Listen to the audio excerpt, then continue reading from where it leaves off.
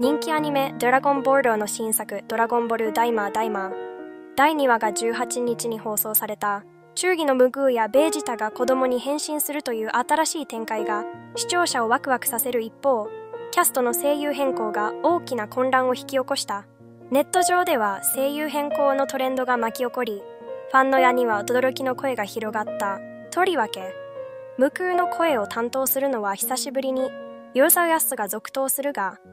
ベジタやブルマなど主要キャラクターの声を演じる声優陣が維新されたことでその反響は強烈であった。多くのファンが心の中で書いていた期待感は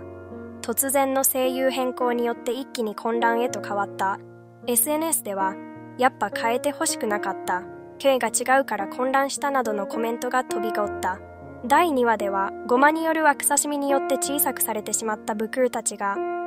魔界へ路立つ準備を始めるという物語が展開される。新たに出会ったミステリアスな少年罰人グロリオとの遭遇も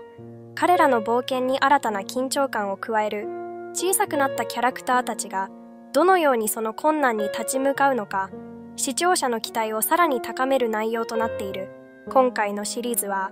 原作者のリョヤミョが完全新作として出費し詳細な設定が盛り込まれている。キャラクターやモンスターさらには未知の世界へ向かう冒険が描かれており